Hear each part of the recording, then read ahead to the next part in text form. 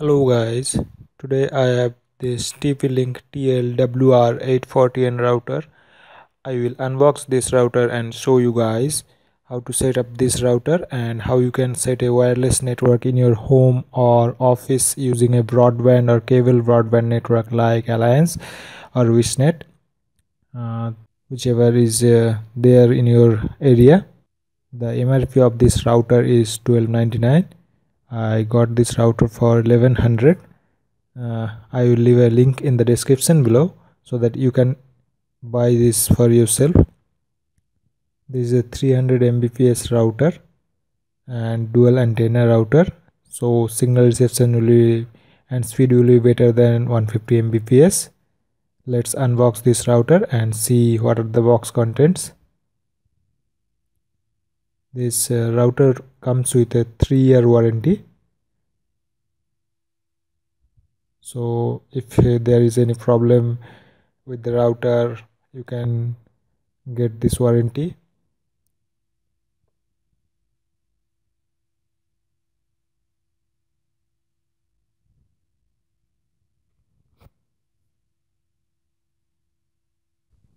So here are the box contents. We have some technical support manual. Then we have a quick installation guide.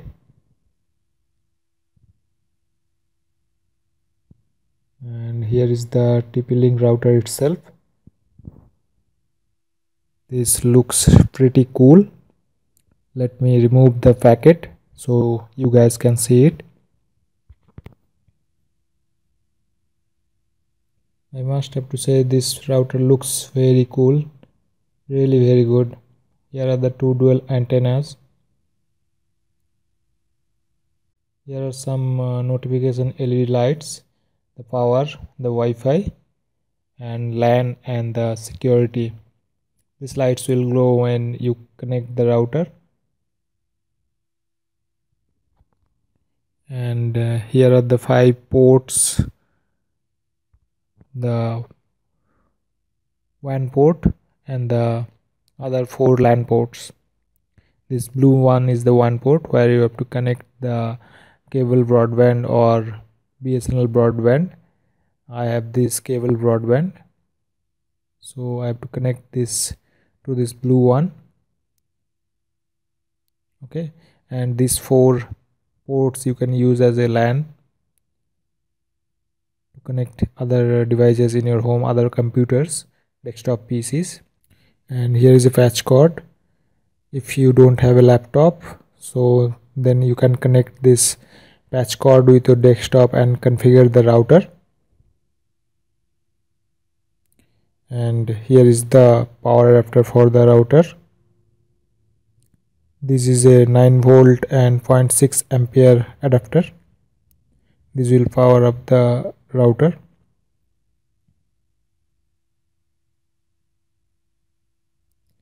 So let's power this on. The device is firing on. It will take some time one minute or less to fully powered up. So let's just wait and and yes the both the lights are glowing right now that means we are good to go. Let's move on to my laptop so that we can connect and configure the laptop. Here is the network. You can see TP link. We have to connect this network. Let's connect this router.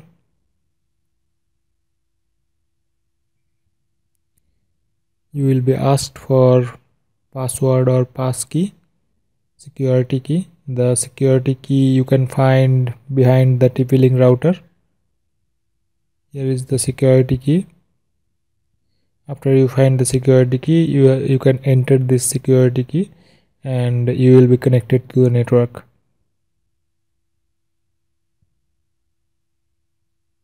Let me enter the security key and let me connect this router.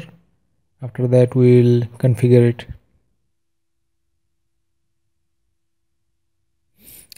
okay now we are connected. Connected to the TP-Link uh, router. Now we can configure the router and give the ip addresses manually. So to access the router we have to go to the ip address. That is 192.168.0.1 and you will be prompted for user id and password by default both are admin and admin. Uh, here is the quick setup. Quick setup will allow you to, to configure the router step by step. So click next and go to the next section. Here you have to select the IP type. If you have dynamic IP select dynamic IP and if you have static IP provided by your ISP provider select static IP in my case I have static IP so click static ip and click next. Here it is showing the cable is unplugged. Please connect the cable. My cable broadband is unplugged so i will i'll plug this. And click retry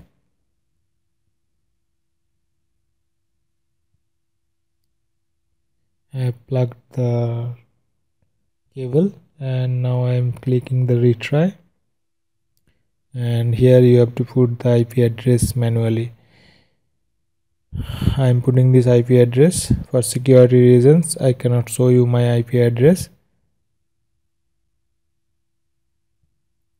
So let me put this IP address and you can put this IP address manually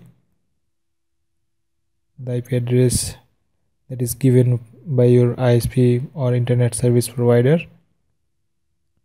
The default gateway is the primary DNS and secondary DNS fill fill up the fill up the all mandatory portions. And then we have to click the next. Now click next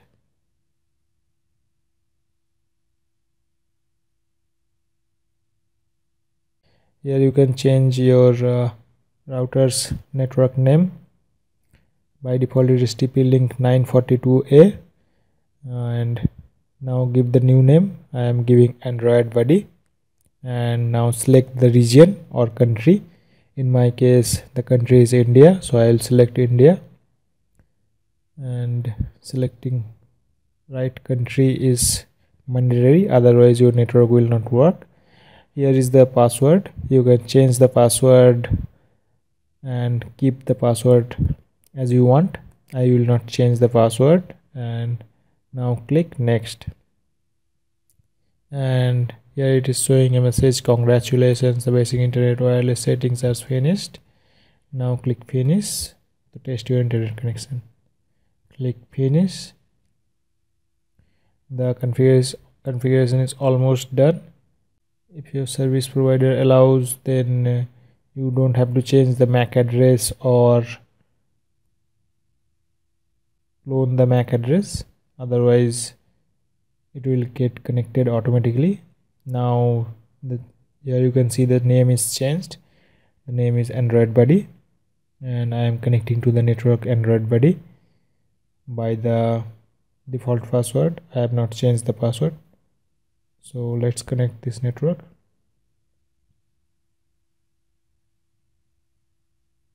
So i have connected to my network. Let's see now the internet is working or not.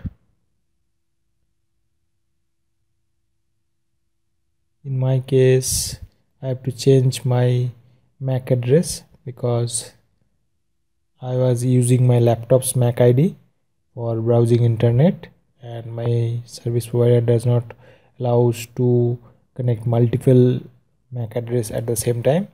So I have to change this MAC address.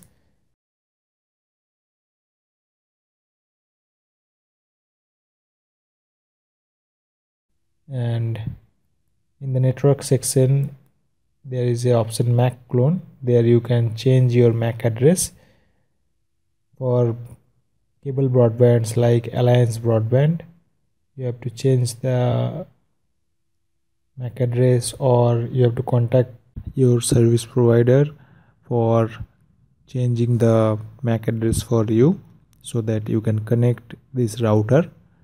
I will not contact my service provider and waste my time. I will simply change the MAC address to my laptop's MAC address.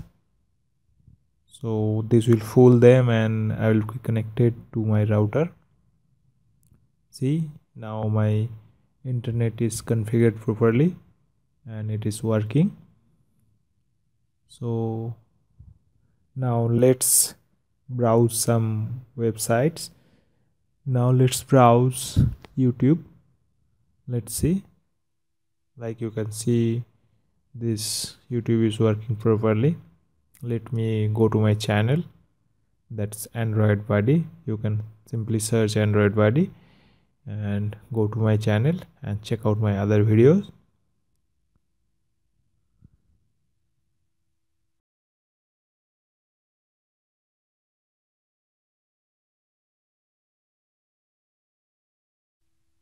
I will show you guys uh, in my mobile I am connecting to this network so that you can understand that the router is configured properly and even through mobile I can connect the router and browse through internet.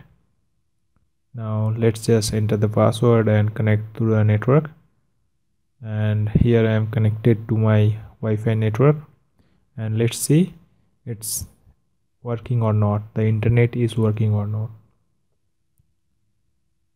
See the whatsapp messages are started coming in that means the internet is working properly. Let's just browse a website. Let's just type google.com and see if it's opening or not.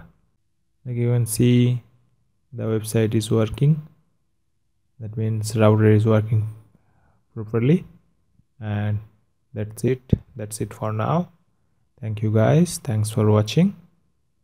Don't forget to hit the subscribe button and hit the like button if you like the video